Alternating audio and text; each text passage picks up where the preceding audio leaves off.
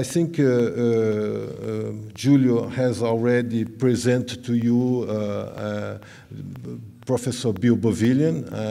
He, we, we, could, we know that he is director of the Massachusetts Institute of Technology office in uh, Washington, D.C. He has a, a, very important role in the connection of MIT with the, the federal government, and he's a, a very great specialist about uh, science and technology policy. So now we will have a conference of uh, Professor Bill Bonvillian. Uh, we told him it would last about uh, an hour, no? And uh, after we have a break and come back, and we'll have the comments of uh, uh, Professor Nicola Vonortas and Professor Mariano Laplane. So thank you very much. Uh, please, Professor.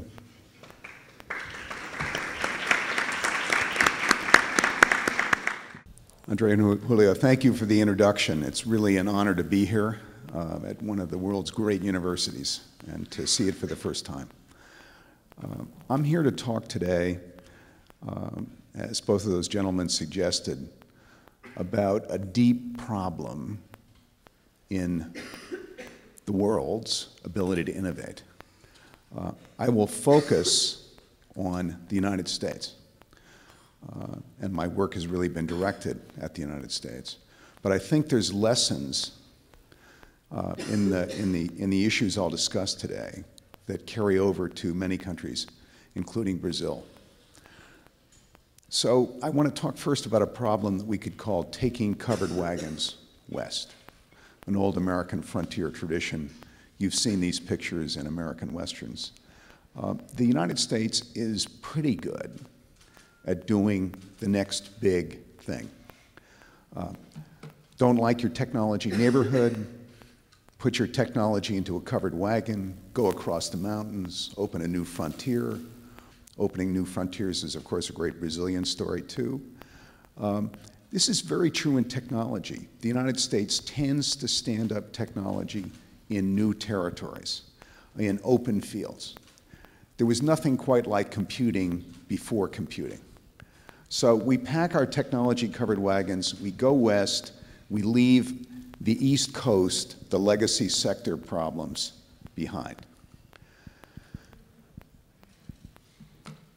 But legacy sectors are occupied territory, and innovations like to land in unoccupied territory. So, in the legacy sectors, the new technologies have to parachute into occupied territory, and they will be shot at as they come down. The United States is just not good at going from west to east, bringing the technology back east over the mountains. We just don't revisit the established territory. We don't go west to east. We're very focused on the next frontier. Yet there are huge economic and public goods gains that could occur if we could change our direction. There's nothing wrong with innovating east to west, with bringing on frontier innovation. It's great. But the IT sector, which is the big technology revolution of the last several decades, is still only 4.6% of the United States economy. So we tend to do, for example, the United States will do biotechnology. It won't go back and fix its healthcare delivery system. But the big problems that the society faces in the US are owned by the legacy sectors. So issues like climate change and related energy, or food and water, are within those legacy sectors. A problem the US is having of jobless innovation, deep problems the US has in healthcare delivery, uh, the need to improve education and address inequality. These are all problems that are locked into these legacy sectors. And to resolve them, to work on them, we need to confront the barriers that face us in these legacy sectors. Interestingly, when I began working on this topic we found very little literature.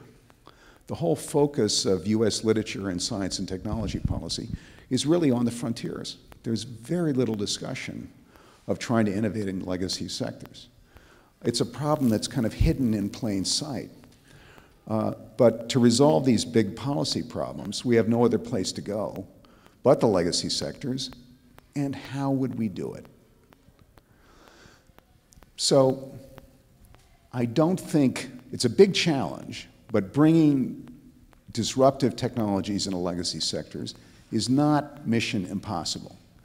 And, and we've seen this occur. So, for example, the, what defense analysts in the US call the revolution in military affairs in our defense sector uh, is an example of this. The IT revolution transformed the communications sector. And there are sectors where we now see lots of potential for new innovation in advanced manufacturing, in new energy technologies, in intelligent cars, in commercial space, um, in online education. We can start to see what the pathways might be to bringing innovation into these legacy sectors.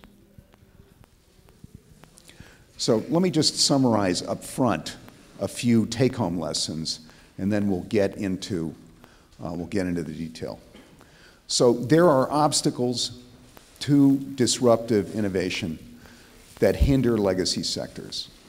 And we need to keep in mind that innovation is not restricted to what we could call the shining lights. The barriers to innovation in the very disparate legacy sectors have a lot in common. They share certain kinds of rule sets, certain kinds of organizational aspects. And they are found in the United States, but they are certainly found in economies all over the world. Encouraging innovation in legacy sectors, I would argue, requires attention to the entire innovation process, not just one stage. So that includes supporting R&D, but it also includes the policy and institutional measures to confront legacy barriers and to work on scale up and market launch of new technologies.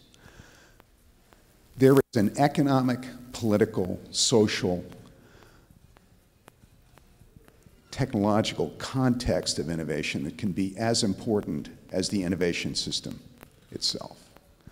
And then manufacturing, and we'll do a case study around manufacturing in the US, is a legacy sector that's an important source of both jobs and innovation. So let's talk about these legacy sectors and some of their characteristics. Some of the characteristics are the need to, are the reality that um, legacy sectors and producers within them do not necessarily align with societal objectives. That the legacy sectors are defended by technological, economic, political, social paradigms, as well as numerous market imperfections. And we'll talk a little more about these in a minute. These paradigms and imperfections enable resistance to disruptive innovation, and they are defended by powerful vested interests.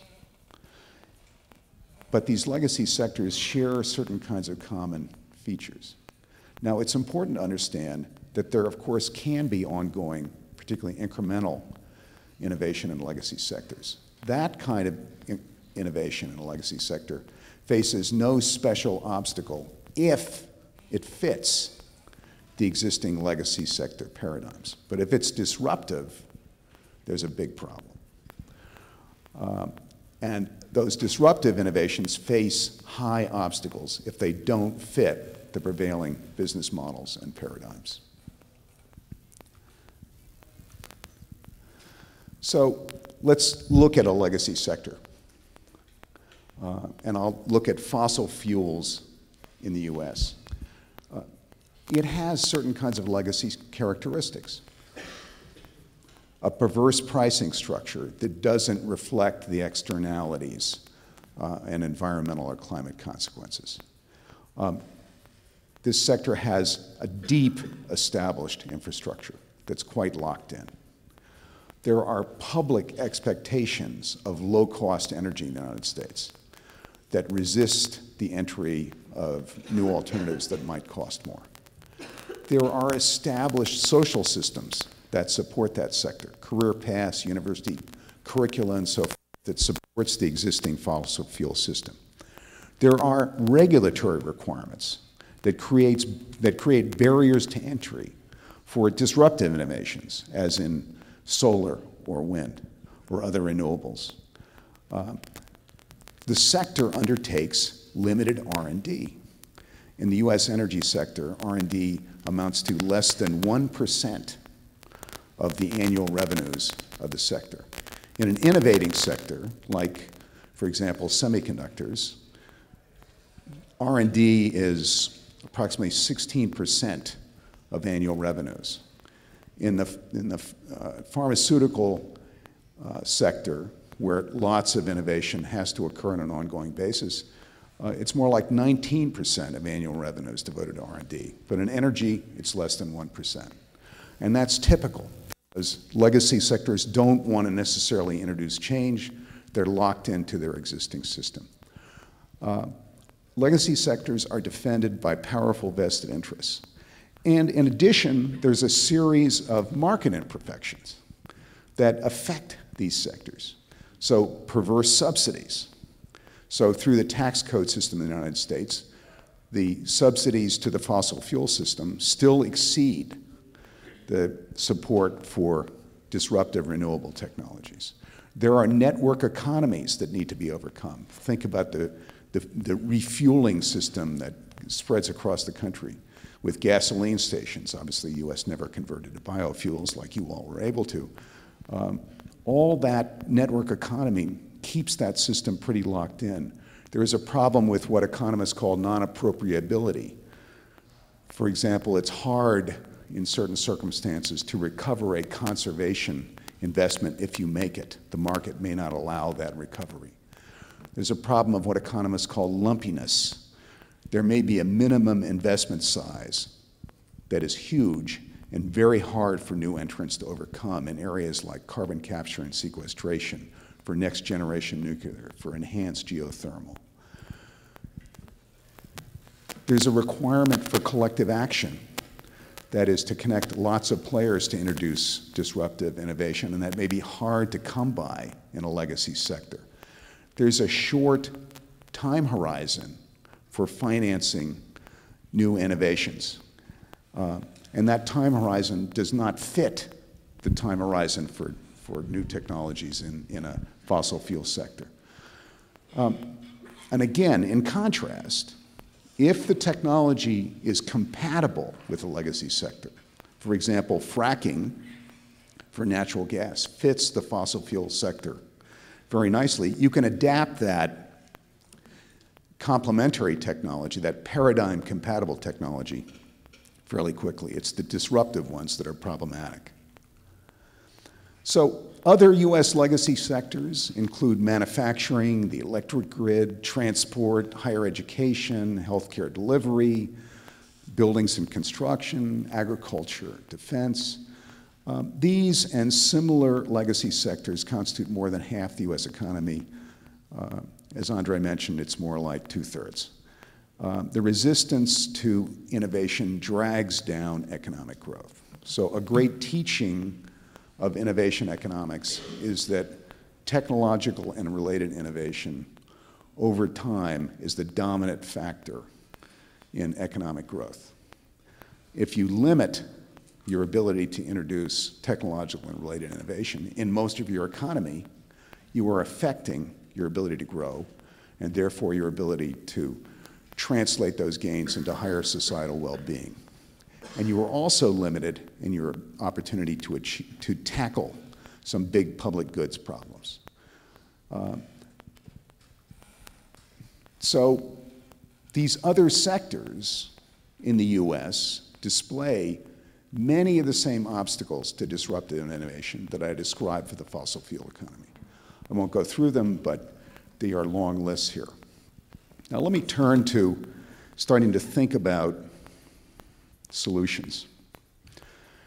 In science and technology policy, we have long focused on the innovation system, which is you in this room know could be defined as consisting of the firms, the institutions, the policies that carry out, that encourage, that facilitate, and support research and development and innovation, and the development of technical capacity. And we focus on these innovation systems. We focus on them at national levels, we focus on them at regional levels, we increasingly focus on them in metropolitan area levels. Uh, but there's another issue here, which needs to be understood when we think about legacy sectors, what we could call the innovation context. So the innovation system and the innovation context constitute an overall innovation environment, and thinking about legacy sectors requires us to think about both features, the innovation system and the innovation context. And this context is huge. It includes cultural attitudes towards things like risk and competition and cooperation and industry university collaboration and includes macroeconomic factors, macroeconomic factors, access to finance, physical infrastructure and connectivity, income distribution, the whole incentive systems, whether they're supportive or disruptive of innovation. It includes the political system, the legal system, really, this larger context can be as important as the innovation its system itself in determining whether innovation does or not, does not take place. And confronting legacy sectors require us to think about the context too. The US, for example, owes a great deal to, its, to some favorable as well as it is affected by unfavorable characteristics in its innovation context. I won't belabor these, but every country's got a list on both sides, and the US certainly does.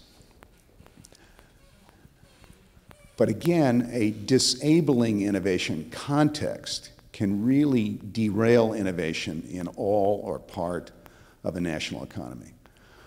So, in research work on this, we've taken a close look at Russia, we've taken a close look at Germany, at France, and at India, um, and looked at the positive features in the innovation systems and contexts, and problematic features in all of these. So the model, I believe, can be taken to an international context. And the US, frankly, has much to learn from the strengths of other countries uh, in confronting its own weaknesses.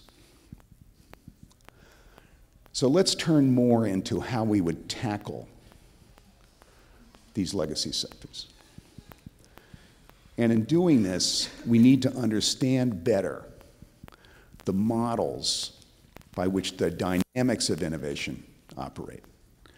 And we present five models that I'll discuss in a second something we call the pipeline model, the induced innovation model, the extended pipeline model, the manufacturing led model, and sort of one that includes all the others innovation organization. So let me pull these apart with you. And three of them are kind of new ideas um, that we attempt to introduce and work on this. The pipeline model, science and technology scholars understand well. Um, and it's the dominant model in the US. It is what we could call a technology push or technology supply model.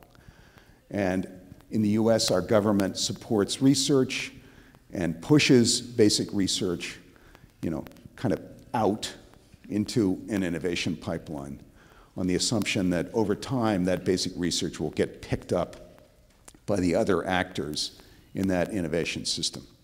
So these new technologies develop and push into the marketplace. And again, that is the dominant model underlying US innovation policy. But of course, Government funded research is not the only way that innovation occurs. Firms are critical and dominate. And firms typically innovate through an induced innovation model. And that is more of a market pull or a demand pull model. So industry will see a market opportunity, a market niche, and then will undertake technology efforts to fill that market niche, to meet that market potential market demand, often, typically, through incremental advances, i.e., modifying existing lines of technology to meet those opportunities. Um, so innovation can be induced by changes in markets or policies. Um, and induced innovation can work pretty quickly if there are innovations that fit the potential market demand and fit with the, uh, fit with the firm's own paradigm um, and business models. So that gives us two, and the next three are new ones we try to introduce to the discussion, although they will be familiar to you. The third model we can call the extended pipeline. It is also a technology push model, but rather than simply introducing basic research, there is governmental support at every stage through the innovation pipeline. And typically in the United States, our Defense Department supports this kind of model. It will support research and development, but also demonstration, test bed, and often initial market creation. So there's assistance of some kind at every stage of the innovation pipeline. There is also what we could call manufacturing led innovation. And it's really important to understand that initial production, particularly of a complex, high value technology, can be highly innovative. Designing a product to fit a market really requires you to often redo the science as well as undertake highly creative engineering. Uh, many countries really organize their innovation system around manufacturing led innovation. The United States doesn't and we'll talk about that more in a bit. But for example, uh, Japan's creation of quality manufacturing in the 60s, 70s, and 80s is a great example of manufacturing led innovation. And China's innovation and the ability to rapidly scale up production, for example, um, is, another, is another example of this. Um, so this is an important, but in the US, an unappreciated source of innovation, but nonetheless important as we look at the overall dynamics of innovation.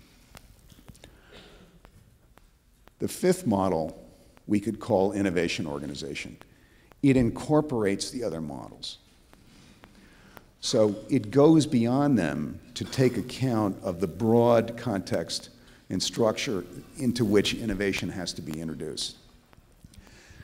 Innovation organization is what you have to practice to tackle innovation in a legacy sector, I would argue.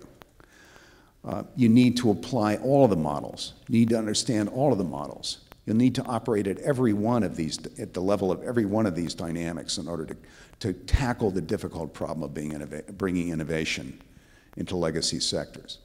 And neglecting any of one of them puts too much pressure on the others. Now, getting the dynamics right is not enough legacy sectors also require change agents, institutions and individuals within those institutions that can push towards a fuller innovation environment um, and tackle the institutional issues.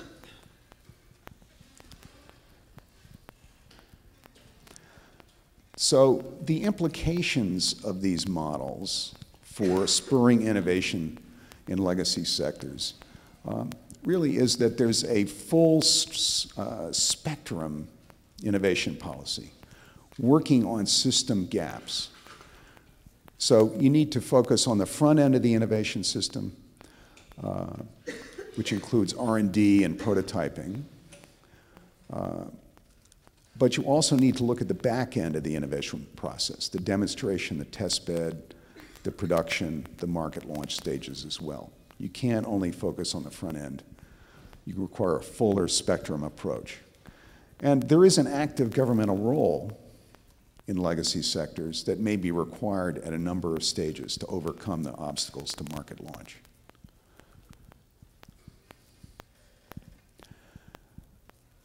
So we know the dynamics.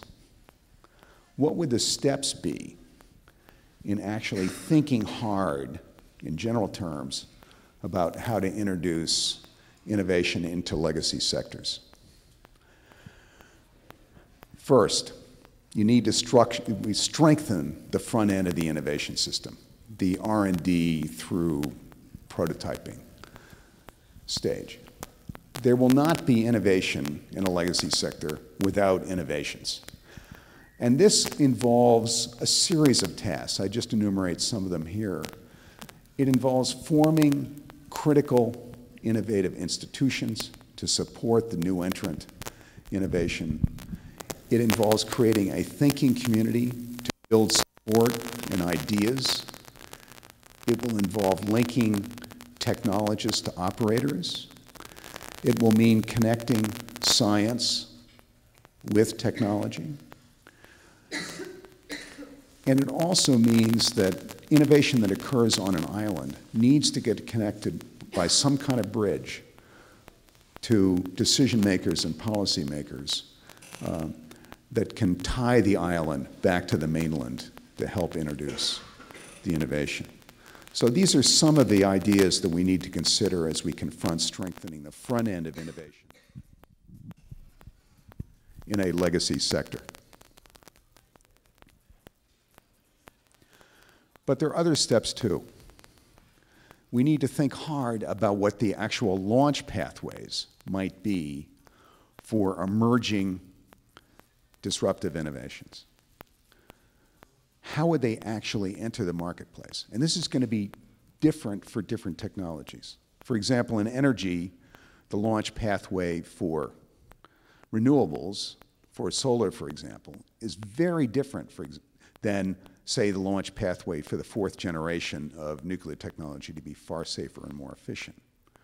Uh, so understanding how these technologies launch into what sectors is a really key step. And then you can tie support policies to the technology launch pathways. Step four involves analyzing the gaps in the innovation system. Uh, for example, in the energy uh, situation, that our Department of Energy introduced something called ARPA-E, Advanced Research uh, for Energy Advances, uh, somewhat modeled on our noted DARPA in the defense sector. Um, so we introduced ARPA-E to undertake breakthrough revolutionary R&D on new energy technologies on technology opportunities that were in the white space, where there was no work previously undertaken. Could there be some new breakthroughs that would really be game changers? So we created, we need those game changers in energy. We created an institution um, to, do, to work on those breakthroughs. It was a gap in the innovation system. Uh, we introduced advanced manufacturing institutes in the energy sector and a whole focus on driving down manufacturing costs. Because unless the new energy technologies can compete on cost on day one when they enter the marketplace with the existing fossil fuel economy, they'll never work. They'll never scale up. So we looked at analyzing the gaps, and those are a couple of examples, for example, in the energy sector of filling those gaps. So this, this fifth step is analyze, first and four, analyze the gaps, and five, fill those gaps with solutions. So these are steps that we could think about as we begin to confront launching innovation into legacy sectors. And to reiterate, innovation is not going to just happen in these sectors. There have to be change agents. Innovation in legacy sectors requires orchestration, pulling institutions and the individuals within them together to intervene to bring these new technologies about. Um, do, how do we know that these steps work? Right? Are these plausible? Uh, well, we've taken a deep evaluation of how our Defense Department was able to launch its revolutionary military affairs back in the 80s and early 90s. Uh, these are the precise steps that had to be followed in the course of, of that innovation. And we can start seeing them in other initiatives the U.S. is launching in advanced manufacturing and in clean energy initiatives. So let's do a quick case study manufacturing. Um, it is a key legacy sector. Um, it has lots of those leg characteristics. But interestingly, it's a critical source of innovation. Remember the manufacturing led innovation model. Uh, yet the US has failed, frankly, to recognize that manufacturing is a creative stage of the innovation process. The US has thought that R&D is what innovation is all about. It hasn't connected manufacturing, particularly, and particularly initial production of high value technology goods, it hasn't connected the fact that that is a very critical innovation stage as well. You have to rethink the science and the engineering and the technology itself. Uh, so we in the U.S. think of R&D as the main source of innovation. Uh, we have done very limited R&D on manufacturing because we didn't recognize it as part of innovation. Other countries have not made that mistake. Germany, Japan, Korea, and recently Japan have all organized their innovation systems around manufacturing. Uh, and this has had a big effect in the United States. So after World War II, the US had a system of innovating in the US and producing in the US, innovating here and producing here. So it had full spectrum innovation and got the gains at every stage of the innovation process, from the research stage all the way through the production of goods and distribution and sales and retail. Increasingly, the US moved to what we could call innovate in the US, produce outside the US. And multinationals and startups began sending their initial production offshore small and medium sized enterprises in the US that are the majority of US production faced a thinned out industrial ecosystem, thinner groups of suppliers, researchers, consultants, less workforce talent. This limited their ability to grow and expand. The result, of course, was the loss of manufacturing employment. Between 2000 and 2010, it came down by one third in the US. It affected the speed of the US economic recovery. It affected in the end, its innovative capacity. So it, the US has begun to run the risk of producing abroad, meaning that further innovations would have to occur abroad. So it's losing part of its innovation system, um, and it's facing, as a result, because it's not doing the full spectrum of innovation gains, it's facing a problem of what we could call jobless innovation. That the innovations the U.S. accomplishes create less net new jobs uh, than if it had been operating in a full spectrum. So maybe we could apply the five step model we've just been talking about to restore that lost ecosystem um, and smooth the way for new launch paths towards advanced manufacturing. Uh, and there appear to be new paradigms for advanced manufacturing. In other words, there appear to be technology advances that could be transformative of manufacturing in areas like smart materials and what we could call mass customization, the ability to make small lots of goods personally designed to customers at the cost, at the same cost as mass produced goods.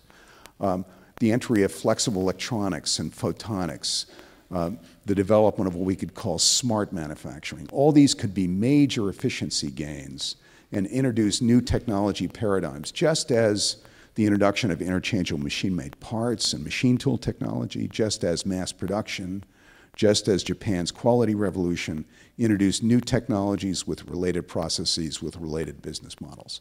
Could they be restored, restorative of a new kind of manufacturing system?